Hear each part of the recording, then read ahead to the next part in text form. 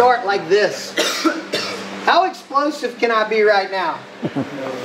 I mean, like seriously, like like you've got to give yourself a chance. Man, you should be here ready to go.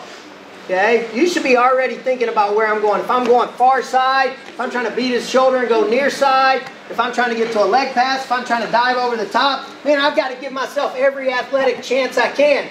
Some of you guys' feet are inside your hips and you're standing almost straight up.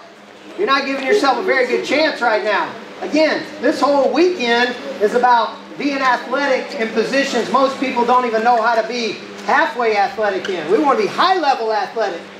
All right? Give yourself a chance. Get yourself in an athletic position to wrestle. We're competing right now. Now it's time to compete. Get set. Get set. It's time to compete. Go. Compete in there.